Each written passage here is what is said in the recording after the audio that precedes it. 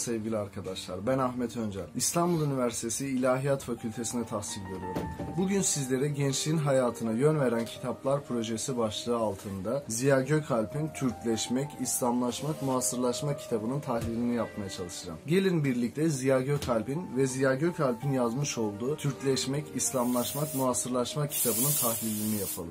Ziya Gökalp'in kitabından bahsetmeden önce sizlere Ziya Gökalp hakkında toplumumuzun çoğu tarafından bilinen bir sözü hatırlatmak istiyorum. Nitekim bilindiği üzere Ziya Gökalp ne mutlu Türk'üm sözünün mucididir. Bu söz e, zamanında Atatürk tarafından çok beğenilmiş ve çeşitli mecralarda bir slogan halinde kullanılmaya başlanmıştır. Ziya Gökalp Diyarbakırlı olması ve Kürt asıllı olmasına rağmen böyle bir sözü sözü meydana getirmesinin altında birçok sebep yapmaktadır. Nitekim bu söz sadece Türklere ithafen değil, nitekim Atatürk'ün de söylediği üzere kendini Türk hisseden herkes Türktür. Sözü başlığı altında bu söz meydana getirilmiş ve toplum tarafından benimsenmiştir. Ziya Gökalp'in Türkleşmek, İslamlaşmak, Muasırlaşmak kitabına dair katıldığım ve katılmadığım birçok mesele var. Katılmadığım meselelerden birisi, nitekim bu meselede de Ziya Gökalp'in kendi toplumunun varoluş süreci içerisinde bir bakış açısı yürüdüğünü tahmin ediyorum. Ve bu varoluş zamanında bulunduğu o sosyolojik yapı itibariyle ortaya koymuş olduğu meseleler olduğunu ben düşünüyorum. Nitekim bu meselelerden birisi de Ziya Gökalp'in güçlü devlet tanımını yapmasıdır. Nitekim Ziya Gökalp kitabında güçlü devletin, güçlü hükümetin ülkedeki memur sınıfına bağlı olup olmaması üzerinden bir değerlendirme yapmıştır. Ve Ziya Gökalp şöyle demiştir. Eğer hükümet ülkedeki memur kesime dayanıyorsa o hükümet başarısızdır. Nitekim memurlar, işten çıkarılmış olan memurlar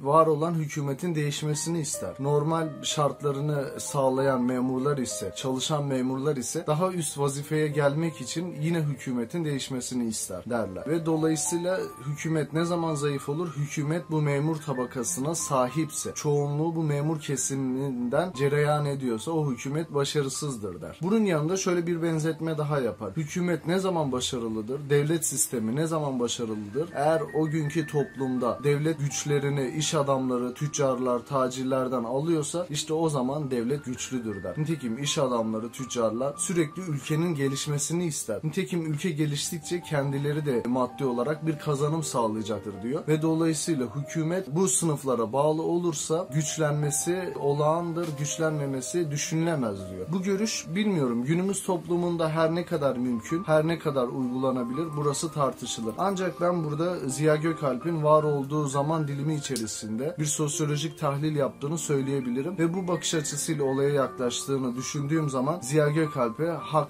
vermeye e, çalışıyorum. Bunun yanında e, Ziya Gökalp'in gerçekten kitabı biraz ince olmasına rağmen insanda şöyle bir izlenim uyandırıyor. Nitekim kitap 80 sayfa bir kitap ve insanın zihninde bu kitap bir oturuşta bitecek kitap şeklinde bir e, izlenim uyandırıyor. Ancak hiç de öyle değil. Nitekim kitap bir makalelerden müteşekkil. Dolayısıyla kitabı uzun soluklu okumanız gerekiyor. Bir oturuşta bitirilecek bir kitap maalesef ki değil. E, bu bağlamda da kitabın editörü bize toleran, tolerans geçmiş ve dolayısıyla kitabı çeşitli bölümlere ayırmış. Bölümler arası da 5-6 sayfa oluşuyor ve bu özelliği de gerçekten beğendim. Kitabı sindirerek okumam da e, önemli bir kilit rol oynadı. Bunun dışında Ziya Gökalp'in e, kitabında şöyle dikkatimi çeken bir önemli husus daha vardı. Ben onu da sizlere zikretmek isterim. Ziya Gökalp kitabında Türkleşmek ve zamanında Osmanlı politikası haline gelmiş olan İslamlaşmak kelimesinden bahsediyor. İslamcılık kelimesinden bahsediyor, akımından. Dolayısıyla Ziya Gökalp şöyle bir benzetme yapıyor. Türkçülük ve İslamcılık ikisi birbirine zıt değildir. İkisi birbirini kapsayan bir şey de değildir. Birisi üst kimlik, diğeri alt kimliktir. Dolayısıyla bir insan hem Türkçülüğü e, Türkçülüğü benimseyebilir hem de İslamcılığı benimseyebilir. Dolayısıyla İslamcılığı bir üst kimlik olarak benimsediğimiz zaman ikisi arasında bir zıtlığın var olamayacağını düşünebiliyoruz. Bu da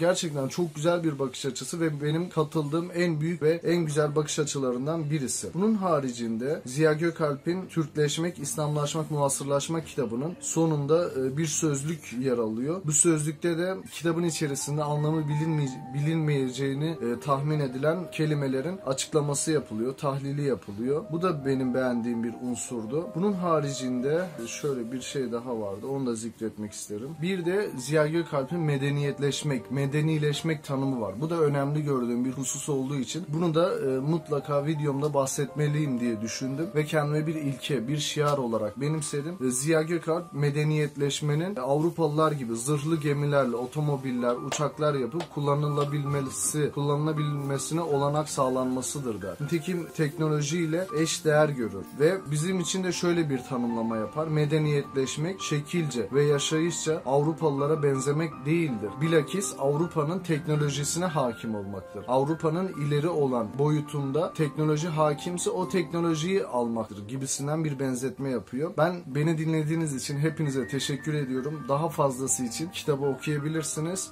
Yine Ziya Gökalp'in kitabında güzel bir cümle yer alıyor. Bu cümle bildiğimiz gibi birçok e, kelam, fıkıh e, kitaplarında yer alan bir cümle ve tabiri caizse tanımın tanımı niteliğinde bir cümle. Efradını cami ve ayarını mani olan. Yani bu bir tanımın tanımı desek yeridir. Ben de bu cümle nezdinde sizlere bir şeyler sunmaya çalıştım. Efradını cami, ayarını mani şeklinde sizlere bilgiler sunmaya çalıştım. Yani içerisine ihtiva edeceği bütün bilgilerin yer aldığı ve ihtiva etmediği yani ilişiği olmayan bütün konuları da dışladığı ve içerisine yer almadığı bir tanım yapmaya çalıştım. Ziya Gökalp'in Türkleşmek, İslamlaşmak, Muasırlaşmak kitabına dair. Umarım tahlili ve videoyu beğenmişsinizdir. Hepinize teşekkür ediyorum.